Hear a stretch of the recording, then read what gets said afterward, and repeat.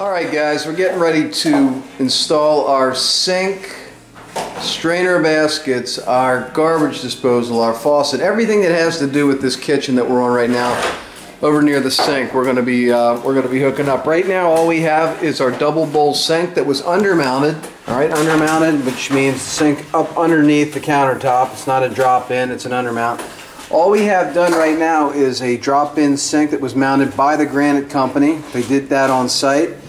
And as you can see, we're looking right down through the bottom of the sink right into the base cabinet because there's nothing there yet. We've got a faucet that we're just uh, just now dropping down into a one-hole setup. All right, the Granite people drilled that one-inch hole, or actually it's an inch and a half hole, through our top on site and had that ready for us. We did not do that. You will not have to drill through your granite. Uh, your granite company will ask you where you want your faucet mounted, what type of faucet you have, and that'll all be done for you. So we're going to start from scratch here. We're going to be installing two strainer baskets. One of them is going to go right down into a garbage disposal, which we have right here. All right, we bought this Badger over at Home Depot. It's 15SS series. You don't have to get this particular garbage disposal. It's just what the homeowner chose to put in. Any garbage disposal will do. Although I don't recommend buying the cheapest one out there. You know, you generally try to get something, uh, maybe the next model up from the lowest model is fine, but I'd stay away from the cheapest. Uh, so we've got a garbage disposal going in. Uh, we've also got the uh, double sink so we're going to be hooking up two drains into one, and we've got the kits that we needed to purchase to do that. All right. Here we have a center outlet, continuous waste setup for our sinks. And we've got our P-trap then, so that we can trap all the wastewater before it goes into the actual uh, drain line that goes through the wall behind the sink cabinet here. So, that's it. So there you go. That is everything that we need. Uh, we've also got an oil an oil bronze faucet, so we went ahead with the oil bronze strainer baskets. You can see they've got a little bit of copper bronze type of color to them. And I believe the one for the garbage disposal is just black. Now, actually, that's got the oil uh, bronze scratch finished also. That's oil bronze as well. So everything is oil bronze. If you've got yeah. chrome, you'll go with chrome. If your faucet's chrome, if you got a gold faucet, you would you would probably then just go with the stainless steel. But uh, nowadays, the oil bronze is becoming more and more popular. Um, doing more oil bronze faucets than just about anything else. Nickel satin as well. This is what came with our, our uh, garbage disposal.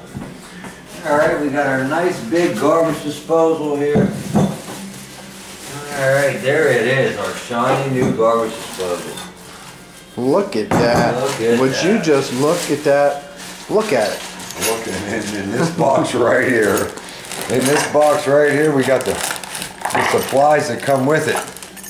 All right, so this right here came with the garbage disposal. These Yep. two things we bought separate. We'll Yep. Put them aside here. Yep, what we're gonna do is, uh, if we're gonna go oil bronze, we're gonna exchange the oil bronze for the, uh, For the stainless, I for guess. the, yeah, we're gonna exchange the stainless and go oil bronze. So, it So they matches come our with they black come with this. Most garbage disposals come with stainless parts. Yeah, they all do, yep, stainless or, So if you want to switch out the oil bronze, you're going to have to swap out uh, what you bought. yeah.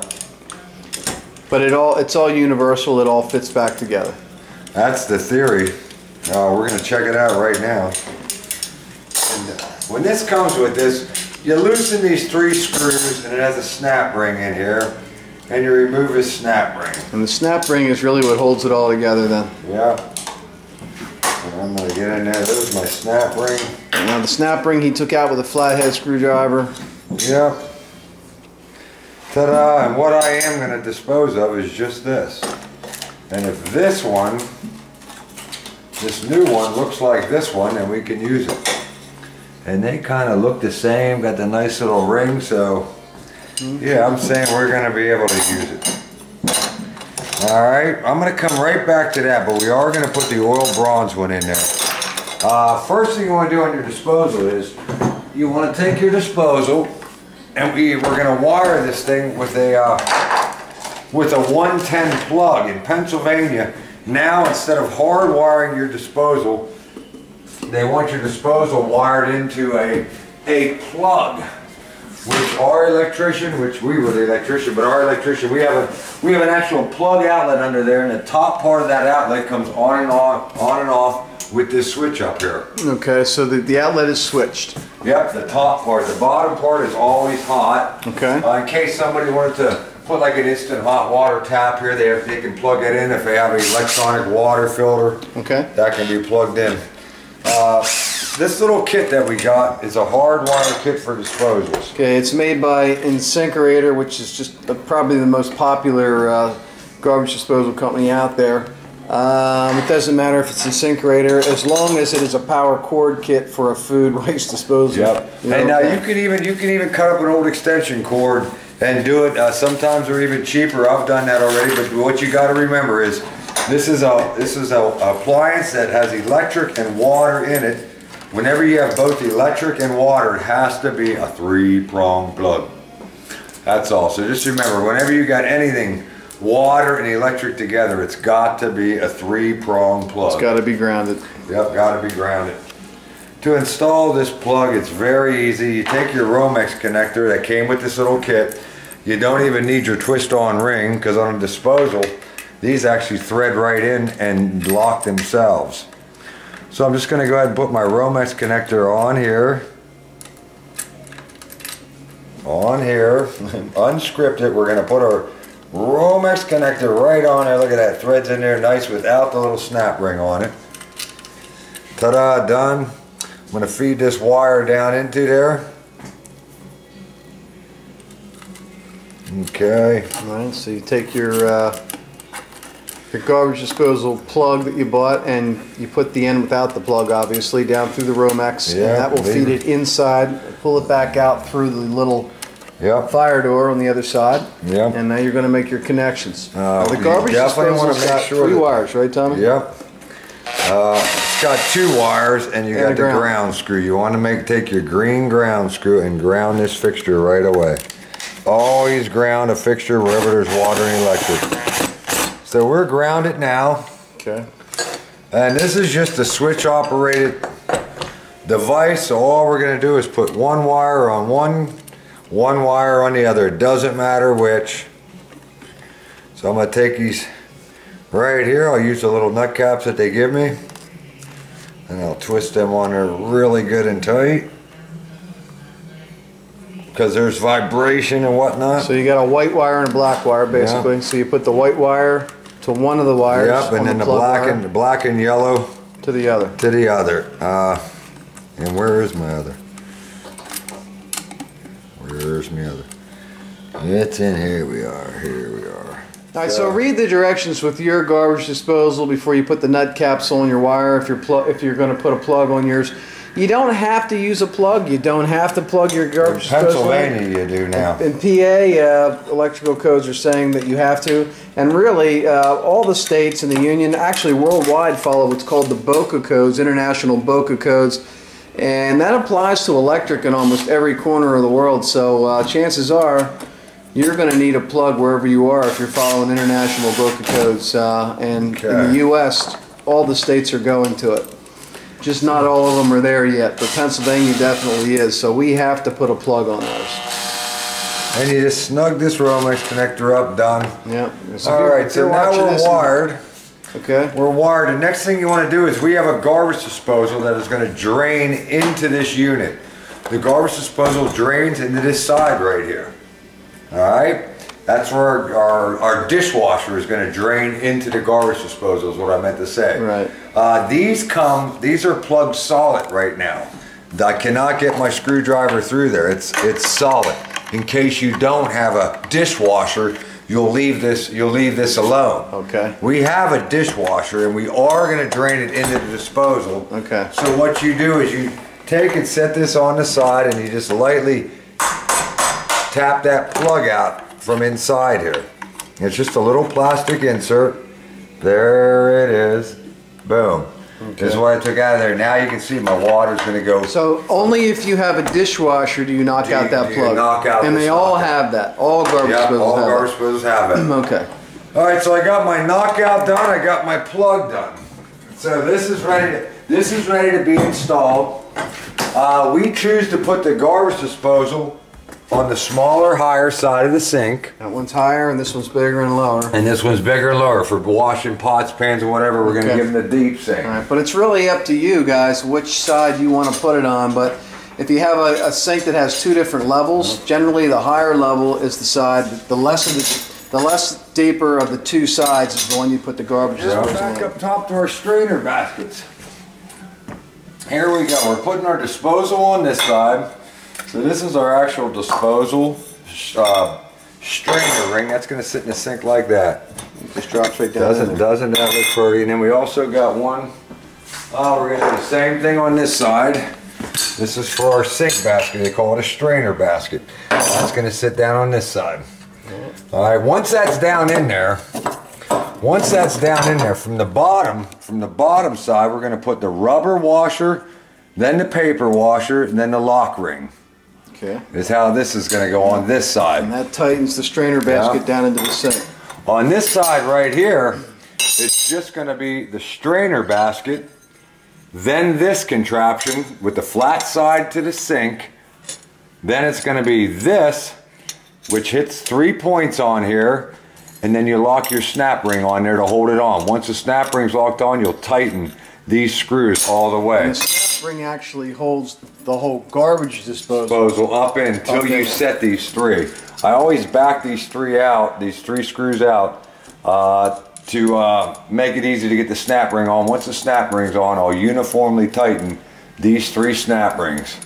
Like this, uh, kind of doing this all on camera here for you, so, so you won't even have to read directions because this is this is how they all go.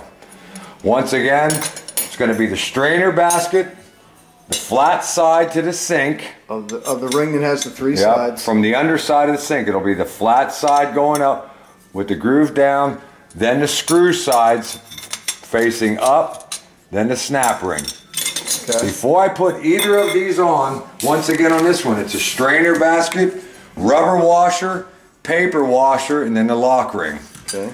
And the only thing you need to put these in with is either plumber's putty or silicone. I'm going to use plumber's putty. I'm, I'm kind of old school. Plumber's putty, I think, is better than silicone because one, silicone is kind of an unremovable product. Uh, two, number two, silicone, when you put it on there and you go to tighten these things, it actually spins. If you're going to use silicone, you should actually put your ring of silicone on there. She actually presses down in there and let the silicone set for, my God, a half hour. And before you start tightening, turning, because when you start tightening this lock ring, it, this will actually spin. Plumber's putty actually grabs that a little bit. Plumber's putty is really easy to work with. All you do is take a piece of plumber putty, you roll it out into about the size of a pencil. There you go.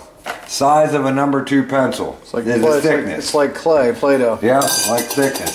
Take that number two pencil, go around your ring one time, snap it off. This one's ready to go in. I'm just gonna flatten that out just ever so slightly. But that's all you need on that side. We're gonna do the same thing to the other side here. And this is just, uh, this is called Stay Put. It's plumber Plumber putty. putty. man. All right, comes in little containers. Like I said, it's just like a, it's like a clay material. Yeah, almost And, like a uh, Play-Doh. Sticky, waterproof. Yeah. Roll that out to about the thickness of a number two pencil. Take and wrap that around there. Find where your two ends meet, pinch it off. This guy's ready. Okay. All right, which do you want to do first, the strainer basket or the uh, garbage disposal? Let's do the harder of the two first. Well, they're both. Okay, so now we're ready for the garbage disposal because just the regular drain side's done. Now the garbage disposal's Same thing. pretty much the same. The I'm gonna paper put- washer first. I'm gonna put the I'm gonna put the cardboard on. Now Let's take a look. All right. Let me get under here so I can Alrighty. see what you're doing. Remember, this has a flat, smooth side to it, you know, and, and because the screw's set up inside this side. Right. All right. And naturally, your screws are going to go where you can tighten them from the bottom down. So I backed my screws out on this. Okay. All right. I got my flat side that's going to go up, sitting on top of there. I got my trim ring ready. I'm gonna put this on here. That's the cardboard. Put this on here. There's no rhyme or reason to this, just so your three screws line up with That your was cardboard first, and then the metal ring, And, yeah, flat side. side. No rhyme or reason to this. One, two, three. I'm gonna find this groove and snap this snap ring on. And if I find my groove, let me just find out where the opening is on this. Makes it a little easier for me. There it is. I got my snap ring coming towards me. All right, one. You heard that snap on there? Okay. Now I'm just gonna uniformly tighten these screws up. And so when you tighten All- these screws up, make sure you tighten them all at the same amount. You Yeah. don't want one Yeah. the whole way out and the other two because your garbage disposal will be hanging crooked under here. Yeah, once you get that on there snug, now see how far they're all hanging down. Yep. When this is on there tight, these screws will be flush with that ring. Okay. Alright, so I'm gonna give each one like three turns and go around the horn. One, two, three, four. Yeah, we'll go four turns and just go right around the horn. One, two, three, four. One, two, three. Yeah, maybe these won't be all the way because this is a different flange that come with it. Usually the flange that you have, they're about uniform, you know, they're about flush inside there. So I'm gonna come back to the first one here. Kind of doing this by braille. One, two, three, four. I'm about getting flush. I'm gonna do this back one. One, two, three. Now this flange with these three screws he's tightening, this is what holds your your garbage disposal up there. And, You know the garbage disposal weighs about five six pounds and it's vibrating, so you want to make sure that this is on there, uh, nice and firm. Yeah. Okay. All right. Now that is actually squeezing out the plumber's putty. Alright, that one's good. Get back to this guy here. That one's good. Go back to this guy here. That one. Okay. All right, your garbage disposal, guys, is going to go on just like this. This is a universal product. They're they're all the same. They're going to have the same components. Okay. That's done. All right. Alright, to actually put your disposal in there. Before I put my disposal in there, I'm going to put my drain tube on here, which comes in this little green bag. Now that came with with the garbage disposal. Yes. Right. Okay. Alright. It's a side. It's a side uh, entrance from the discharge. Whenever applicable, you want to put that in with this thing facing down. And this just has a rubber washer that just sits right inside here. Okay. Done. This little thingy goes right around here. That little And then, flange. and then it goes in with two screws. And there's my two screws. And that just that just pre- this just presses into the rubber washer Right. as that squishes. Look at And that. And that's done. That's just like the uh, the old covers on the thermostats on a 327 Chevy. Is that right? Yeah. I did not know that. now you know. Things have. Well, real easy. Once that's down on there, uh, once these are tightened down, this still will have movement back, forth, sideways. right. Uh, you're gonna snug this up. But that will be watertight because Yep. of that that uh, rubber in that rubber ga- washer. washer that's in there. Okay, now the, the uh, now that is the actual discharge tube, right? Yep. That's going to head to the uh, over to to what the uh, the other side of the drain, double drain. Yep, we can still play with this. We can loosen that up and play with that. This is actually gonna get set up in here. This is a little tricky for, unless you know what you're doing. This gets centered on here. This first ring comes in the beginning of these, and as long as you get all three up at the same time, right there, Just turn the ring. then you turn the ring. I usually put a screwdriver in here to turn these. We'll go to this guy right here. And that locks it That's on there. it. Now, even though that's locked in, I can still move this. I can loosen this and still move this. Okay. But right now, my disposal is set and locked in there. That's uh, that's it. That's that's This is gonna get plugged into my top plug, right. Which may be on. I'm just gonna test her quick. Throw the switch. There she goes. Okay. All right. All right. As you can see, our putty did squeeze out up here. Back up top. Our putty squeezes out of there really good. Yes, it did. What I normally do is I just take a a screwdriver and just go around there one time. If you got a stainless steel sink, be careful you don't scratch it with a screwdriver. Yeah, uh, you can even take your putty and rub it around there. The rest of that'll wear off in time. Same thing over here. Get that putty out of your drain. Go once around with a screwdriver. That's your excess putties out. Your excess putty, you can throw right back in your Save that for another day, yeah. Yeah. The rest of that'll wash off of there. Basket goes on this side. Strainer on this side. All right. I got a weight here. Where this pulls up and down, all right, where that pulls up and down, I'm gonna push this all the way up. All right, I'm gonna come down here. This is that hose I was just pulling on. Yeah, this is a counterweight that helps pull Yeah. that back into the faucet when you Yeah. when you're using the sprayer. And uh, what I'm gonna do is I put the counterweight about oh I'd say an inch and a half, two inches up from the bottom of my loop. And that's about it for that. Boy, that's gonna be a tough one. Okay. That's about where I put the counterweight, where it's constantly pulling down on that. Now this is supposed to pull out and kind of like help feed itself back in. Right. Yeah, it just it's like an assist. It's not gonna suck it Right, right. Just makes it lighter. Yep. Okay. Uh, that's done. That's done. That's done. Now we want to connect up our drains, and we can turn the water on. Oh, by the way, by the way, while we got you here, I got a hose clamp. This is our discharge From our dishwasher, right? from right? our dishwasher. now that's coming through the side of the cabinet. We showed you how to do that when we set the uh, Yep. the dishwasher in there in the appliance video. Yep. This just plugs onto here and gets connected with a hose clamp. Done. I'm gonna do that while I'm thinking about it. All right. Screwdriver is up top right. I'll get it for you. Out with it. There you go. Yep.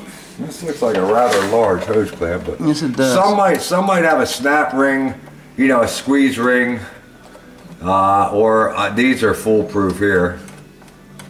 I should have got you maybe an inch instead of an inch and a half. Oh, that's fine. These these tighten right up. Yeah. All right, now this is the actual discharge tube that's coming right from the dishwasher.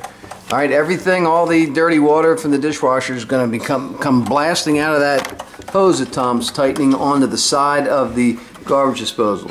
All right, all the wastewater from a dishwasher goes through the garbage disposal.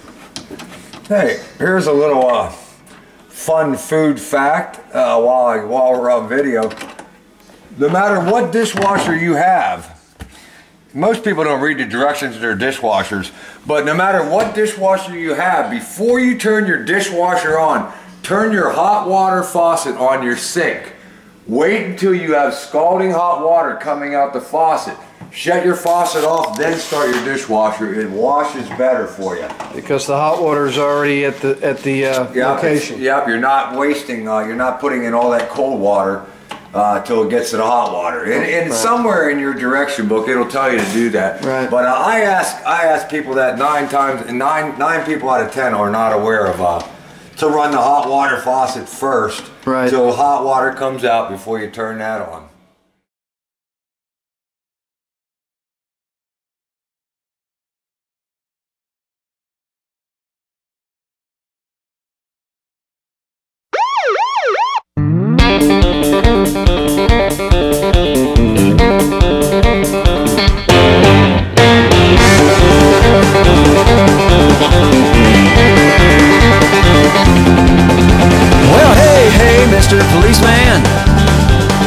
Bet I can drive faster than you.